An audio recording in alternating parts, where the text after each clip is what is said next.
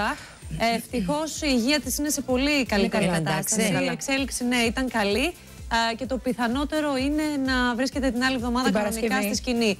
Γιατί αυτό που συμβαίνει με εσάς καλλιτέχνηδες μιμή, δεν προλαβαίνετε να χτυπήσετε και αυτό που σας νοιάζει δεν είναι να γίνετε καλά, οπότε θα επιστρέψετε στο κοινό. Εντάξει, είναι θέμα υπευθυνότητας και η Άννα έχει μια μεγάλη καριέρα και είναι φυσικό να αισθάνεται έτσι. Η Άννα ζήτησε από τον γιατρό την επόμενη, μάλλον το Ναι, να βράδυ βρεθεί του την άλλη ατυχήματος μέρα να στη είναι σκηνή. κανονικά Κάτι- στη σκηνή του Αφού Λαου. είναι τρελή. τραγουδήσει. Εγώ όταν Ε. χτύπησα στην Κύπρο μου λέγανε από το θέατρο θα κλείσει και εγώ τους έλεγα Γιατί θα κάνω πρόβα καθιστή στην Πολυθρόνα από Θα- αύριο. Θα βγάλω το ρόλο μου με γύψο. Ναι. Υπάρχει ένας νεοτερισμός.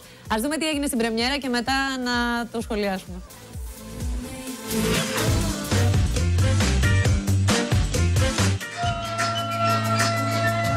Φαντασμαγορική πρεμιέρα έκανε την Παρασκευή η Άννα Βύση στο κέντρο Αθηνών. Βγήκε στη σκηνή σαν νεορούμενη κούκλα, τραγουδώντας τη νέα της επιτυχία Η πιο μεγάλη απάτη είναι ο έρωτας. Η πιο μεγάλη απάτη είναι πιο μεγάλη απάτη είναι ο ερωτάς. Η Ντέμι έδωσε μια πιο pop νότα στη βραδιά.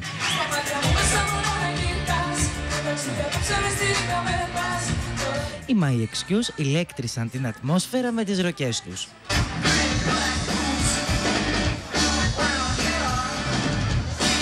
Ενώ ο Νίκος Ζωηδάκης έφερε την Κρήτη στο κέντρο Αθηνών.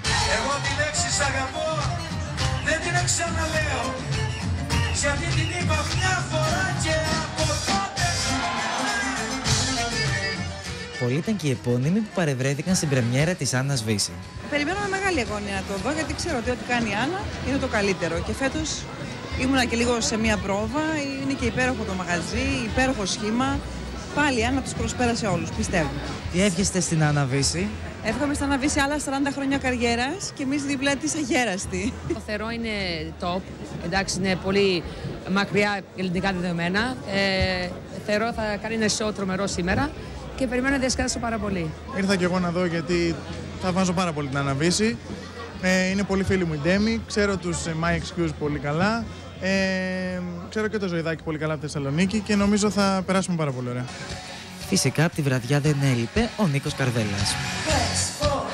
Πες πως είμαστε κι δεν αλλού για αλλού Στο τέλος της βραδιάς η Άννα Βύση είχε ένα ατύχημα. Μία πτώση από τη σκηνή ήταν αρκετή για να τη στείλει στο νοσοκομείο.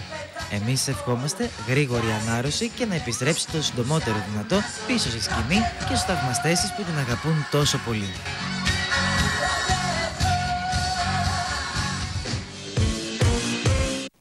Αυτά έγιναν την α, Παρασκευή και δυστυχώς είχαμε μία. Τα ξημερώματα του Σαββάτου ήταν το ατύχημα της Είχαμε ένα Άννας Βύση. ατύχημα γύρω στις 5 παρά. Όλοι νόμιζαν εντωμεταξύ Θα ότι είναι στο συνέλθει πλαίσιο του- γιατί είναι του δυνατή. Προγράμματος. Είναι στάρ, είναι πολλά χρόνια η Άννα, βλέπουμε έχει εδώ. περάσει πολλά. Και- Ω, Κοίτα έχει να δεις το- Μιμή, δεν ξέρω αν έχει Χριστός τύχει να και το δεις αυτές τις Παναγία. δύο μέρες γιατί κυκλοφορεί στο διαδίκτυο Όχι. αυτό το βιντεάκι. Το έχει απαθανατήσει, το έχει τραβήξει ένας σταμόνα.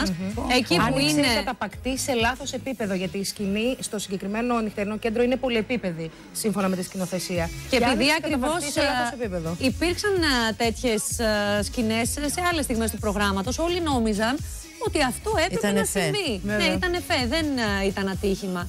Βέβαια, ξαφνικά έκλεισε η κουρτίνα, ε, σταμάτησε η μουσική, άκουσαν ε, τον Αυτόματα. ήχο του ασθενοφόρου και Γιατί- κατάλαβαν ότι γιατί κάτι πρώτα συμβαίνει. σταμάτησαν η μουσική, γιατί η μουσική κα, ε, Κατάλαβαν. ήξεραν, επειδή είχαν κάνει τις πρόβες, ότι κάτι συνέβη. Μη, Πάντως το μη. σίγουρο είναι ότι εντάξει. Τη ευχόμαστε περαστικά. Είναι μετά από αυτό όμως να μην δεν πιστεύει στο κακό το μάτι και την κακή ενέργεια. Ε, Εντάξει, να σου πω, δεν πρέπει να κολλάμε. Κακή ενέργεια υπάρχει σίγουρα και όπου υπάρχει πολλή κουβέντα και σε μεγάλες καριέρες, πολυετής σαν της Άννας και τη δικιά μου, απ' την άλλη είναι φυσικό. Κάτι θα συμβεί όταν έχεις καριέρα τόσα χρόνια. Κάποιες φορές θα γίνουν και κάποια γεγονότα. Α το πάρουμε έτσι. Έτσι. Τώρα θέλω να δω και τις κακές της γλώσσες για το επόμενο Για βήμα να της προχωράμε Μιμή. Δεν έχει, θετικά. Να σου πω την αλήθεια. Γιατί ετοιμάζει κάτι που δεν το έχει ανακοινώσει ακόμα. Θα το πεις σε εμάς εδώ. Αυτή τα ξέρει όλα, παιδιά. Θέλουμε να έχουμε τη χαρά και την τιμή να γίνει εδώ.